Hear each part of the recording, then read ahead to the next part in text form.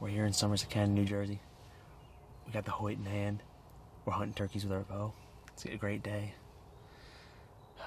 We couldn't even get ready out of the truck before we heard gobbling in the area, and uh, we walked in on a on a bird. I couldn't tell if it was a Jake or a Tom, but um, we gave it 10 minutes, and we we're gonna start. You know, we're gonna start calling again now. So uh, I have no doubts we can call him back in. We got the Avian X out here, and uh, hopefully it should be a show. I'm not really sure how many birds are out here. The other morning we had about five gobblers on the roost hammering at us, but none of them came in. So hopefully there's no hens with them. We'll see what happens.